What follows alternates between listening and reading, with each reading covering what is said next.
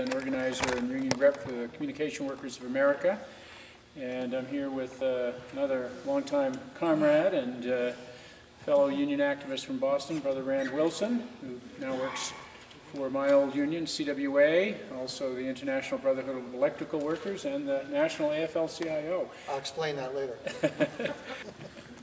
Okay, well, um, why don't I uh, start things off? We're going to keep this very short so we can uh, have uh, uh, mainly discussion here because we've clearly got uh, an experienced group of local activists from uh, the campus and the community and from the local labor movement, and I think it would be most productive to, to have an exchange uh, rather than listen to uh, a couple of uh, out-of-town uh, uh, past or present union officials do what union officials uh, do best, which is uh, talk at uh, endless length. Uh, We've all been subjected to that, so we don't need to have uh, too much of it here today. Um, I want to thank uh, the sponsors, uh, all the different uh, individuals and organizations that uh, came together to put on this conference and uh, actually set something for me the other day at the Hinckley Institute. I think it's really a great um, thing to see a gathering integrate the issues and concerns of, of labor activists, of environmental activists, of peace activists. Um, back in Boston, where Rand and I uh, come from, um, folks from all these different movements would uh, more likely to be meeting separately and coalescing less. I mean, I guess in a, in a blue state beehive of progressive political activity, people can afford to have four or five or six different conferences, each dealing with their own kind of single issue. Uh, the downside of that is that people don't learn from each other and they don't have, hopefully, uh, the basis uh, that is going to come out of this conference for uh, more kind of cross-movement work with each other. Um, we've been asked to discuss today, or just say a few words to kick off a discussion of um, strategies for reviving uh, the union movement, both as an effective uh, vehicle for workers securing a greater measure of justice on the job uh, day in and day out, and uh, also for reviving the labor movement as a force for progressive social change.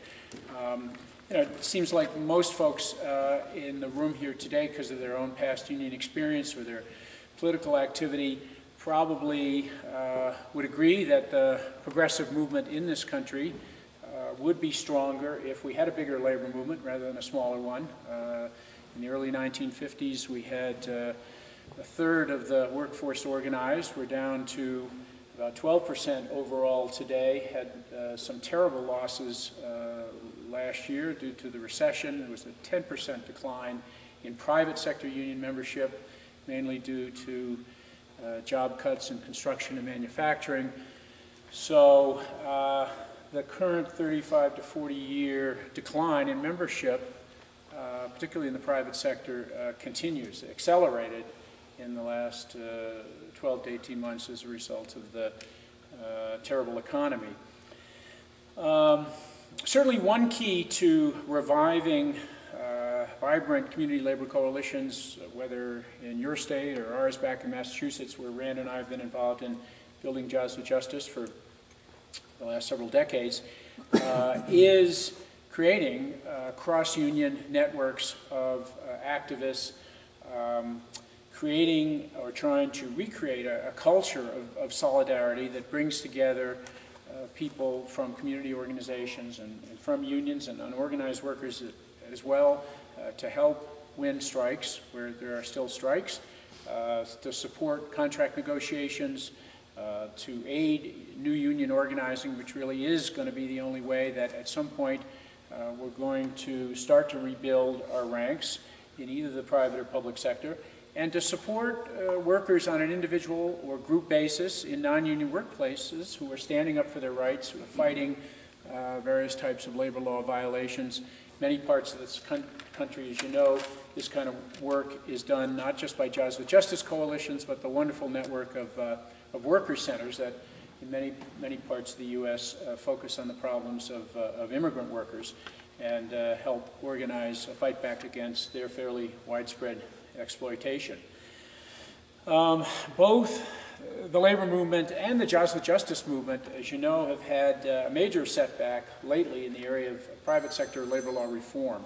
Um, I want to hand out a, a piece that uh, you know I did about this uh, a couple of weeks ago for our hometown rag, the uh, the Boston Globe. Um, it's uh, an op-ed piece from several weeks ago in the wake of the uh, Massachusetts Senate special election that, uh, surprisingly enough, put a Republican into Ted Kennedy's seat, kind of upset the apple cart in Washington, D.C., uh, deprived uh, the Obama administration and its union backers of the 60th vote necessary in the Senate to have a kind of supermajority uh, to overcome any Republican filibuster. Um, this has created a, a very adverse uh, chain of events. Uh, first of all, obviously a setback to uh, the labor law reform project, whatever we may think about that. I'm sure we're going to talk about that more. But uh, major collateral damage in the form of the Employee Free Choice Act, which many of us in the labor movement have been working on as a campaign to strengthen private sector organizing and bargaining rights for the last two to three years. We're now told that with only 59 votes in the Senate, uh, basically we don't have uh, sufficient political support to enact it. Uh, we had the additional spectacle uh, this week of a pro-labor uh, Obama administration appointee to the National Labor Relations Board, uh, failing to get sufficient number of votes for his nomination to be ratified. And another setback, since the usual plan B of supposedly labor-friendly Democratic administrations, whether it was Jimmy Carter 30 years ago or Bill Clinton in the 1990s or now the Obama administration, when they can't change the law, and that has been a reoccurring uh, pattern of failure over 35 years, uh, they at least offer their labor supporters uh, supposedly stronger enforcement of the National Labor Relations Act through more worker-friendly appointments to the National Labor Relations Board, which is the federal agency that enforces uh, the, the, Wagner Act or the NLRA. And uh, we're not even seeing that materialize at a very swift rate uh, so far under the Obama administration, though to be fair and balanced, as they are on Fox News always, uh, there has been some good appointments in the Department of Labor and uh, some other labor-oriented initiatives by Obama that are definitely an improvement over what we uh, saw under eight years with Bush.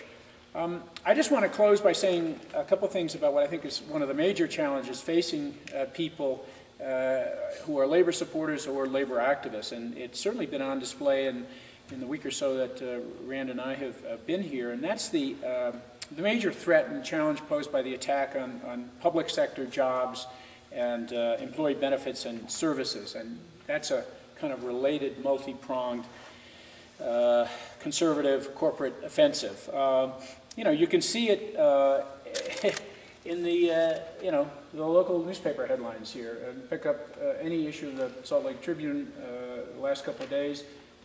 you know, hundreds of jobs of teachers and school employees at risk in one of the major school districts. public safety budget cutbacks threatened um, cutbacks in, in, Medicaid that would affect uh, 10,000 uh, pregnant women and uh, families with disabled children. Uh, you know, we had a tremendous rally here uh, in Salt Lake a week ago. Thousands of teachers, firefighters, police officers, and other state employees uh, rallying against these bills that seem to be still moving through the state legislature to cut back their pension benefits.